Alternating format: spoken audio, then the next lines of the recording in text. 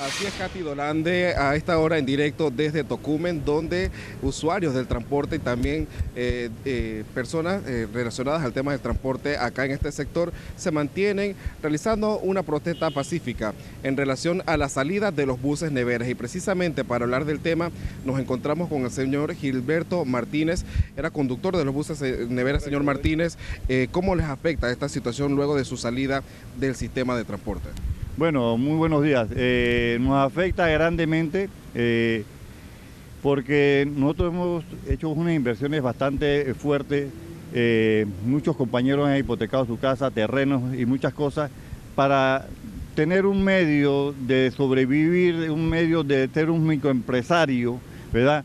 La cual es cierto que se nos dijo en un momento van a salir del sistema, pero no decirnos de hoy para mañana, ustedes van a salir cuando ya había inversiones por muchos miles de dólares, donde estaba eh, inclusive el núcleo familiar se ha afectado, porque cuando tú le tocas el bolsillo a la persona, se afecta el grado de la familia.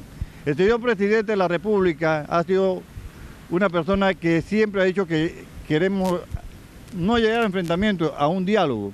Este grupo se ha mantenido tratando de dialogar desde el día 1, desde el día 16 de enero que nos sacaron.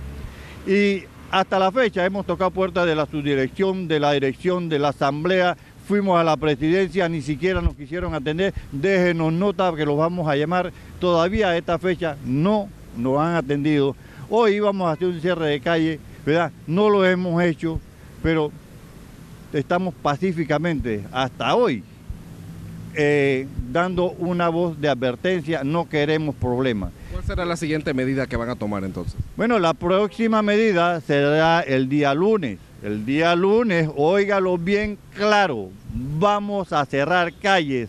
Si tienen que tirarnos bombas, nos van a tener que tirar bombas. Vamos a defender nuestro pan, el pan de muchos, porque aquí hay más de 500 familias afectadas, ¿verdad? Entonces, ya se nos agotó los recursos de hablar con diálogo. Si no quieren atendernos como personas civilizadas, entonces nos van a tener que atender como personas no civilizadas. Entonces no queremos llegar a estas situaciones. Bien, acá también nos encontramos con usuarios del sistema, está la señora González. Señora González, usted como usuaria del sistema de transporte para esta zona, ¿cómo se ve afectada producto de la salida de estos buses neveras del sistema? Bien, nosotros estamos afectados como usuarios eh, nosotros cuando estaban las neveras había buen servicio y llegamos temprano a nuestro trabajo, pero nos han quitado las neveras para mitad de los piratas cuando nos están cobrando dos dólares. Y eso es un desorden que el pirata tiene. Y llegamos hasta la zona paga, coge un corredor, cogemos casi una hora para esperar un corredor. Cuando nosotros agarramos la nevera, como decir que salía a la una, a la una y media estaba en la, en la, en la zona, en la plaza 5 de mayo y a las dos estaba en mi casa. Ahora no, ya llevo carros a la una, son las una y media, dos y media, tres, a las tres estoy cogiendo casi un corredor. Así que estoy llegando casi a las cuatro de la tarde a mi casa. Así que yo le pido al presidente que se sienta con los transportistas de, los buses, le dé una oportunidad, porque en realidad el Metrobús no da abasto. Para que nos quitaran las neveras, que da buen servicio para meter unos piratas, no entendía el tránsito, cuál es el desorden que tiene la empresa Mi Bus dice que eh, ingresaron más buses al sistema para atender la demanda, que ha mejorado el servicio. ¿Ustedes realmente consideran que el servicio mejoró?